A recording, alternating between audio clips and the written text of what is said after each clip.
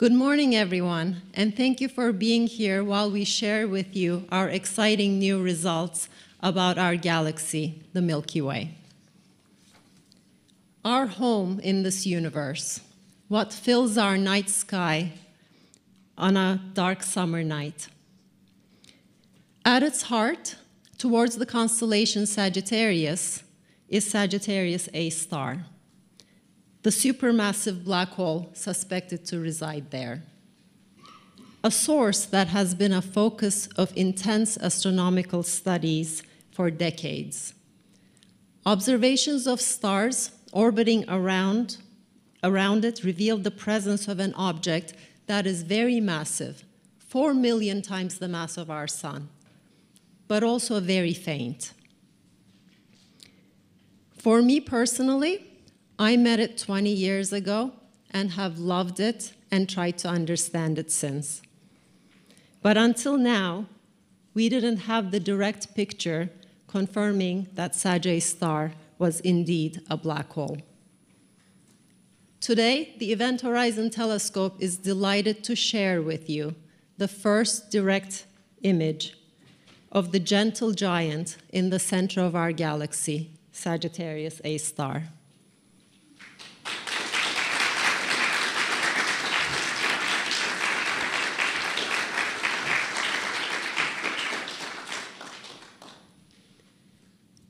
This image shows a bright ring surrounding the darkness, the telltale sign of the shadow of the black hole.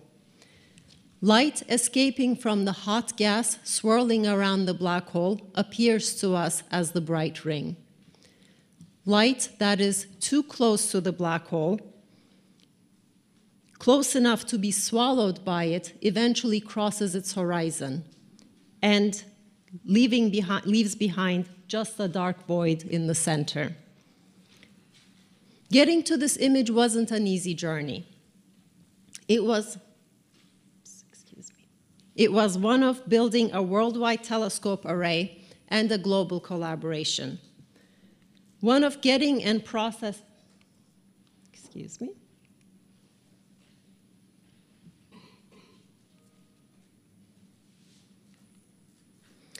one of getting and processing petabytes of data collected from those telescopes.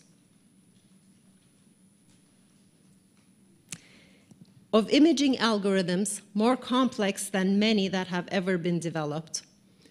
What made it extra challenging was the dynamic environment of Sag star, a source that burbled and gurgled as we looked at it.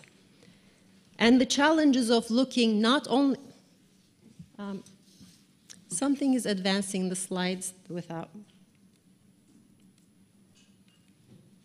Can you please go back to the earlier slides?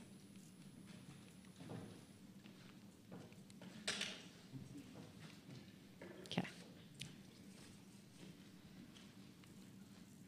Okay, let's see if this will work. What made it extra challenging was the dynamic environment of Sag star, a source that burbled and gurgled as we looked at it. And the challenges of looking not only through our own atmosphere, but also through the gas clouds in the disk of our galaxy towards the center. It took several years to refine our image and co confirm what we had, but we prevailed. The EHT collaboration has indeed been hard at work imaging black holes with exquisite resolution using new techniques. In 2019, we revealed the very first such image, that of the supermassive black hole in the M87 galaxy.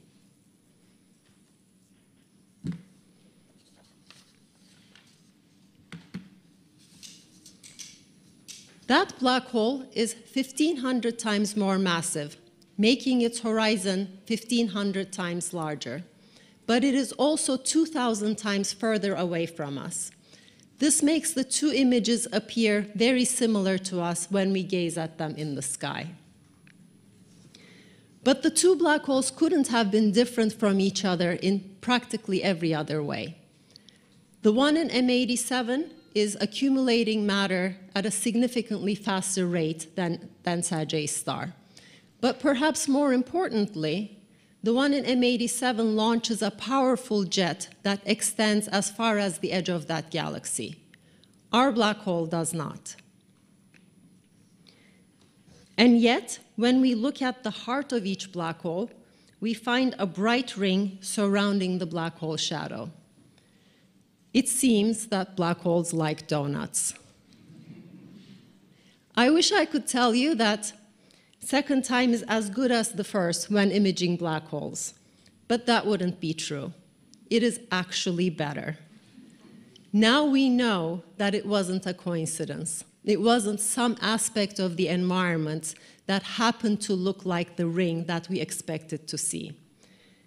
We now know that in both cases, what we see is the heart of the black hole, the point of no return. These two images look similar because they are the consequence of fundamental forces of gravity. Space-time, the fabric of the universe, warps around black holes in exactly the same way, regardless of their mass or what surrounds them. This is what we had expect, hoped to find given the predictions of Einstein's theory of general relativity. And it is exactly because of this fact that we are able to use these new observations, the image of Sagittarius star, to perform one of the strongest tests of general relativity to date.